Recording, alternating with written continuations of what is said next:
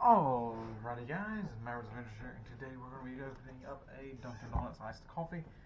But today it's going to be a mocha one, because I said before I like a mocha coffee. So I got the Dunkin' Donuts one, let's see how this one tastes. I'm pretty sure I already shook it up all the way, pretty good, got it good. But I'm going to shake it up one more time just to make sure. do a little bit of that so y'all can see me a little bit better. That too. Okay, let's open up that seal. Oh yeah. Okay. This time I got me a Coca-Cola cup.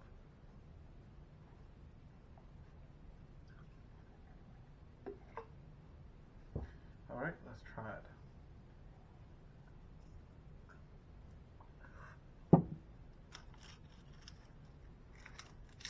Um, wow, that's actually a different taste than mocha than I've ever had before.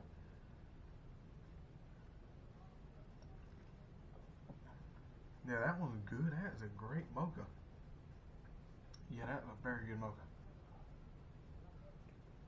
That one is not going to last long, but um, yeah, that's a very great mocha. I would highly advise you getting that mocha coffee. If you like mocha coffee, that's a freaking good drink to drink right there. But, anyways, guys, hope you guys like this video. If you did, hit that subscribe button, hit that like button, hit that little bell beside that subscribe button to get notified every video I release. I release videos every three days.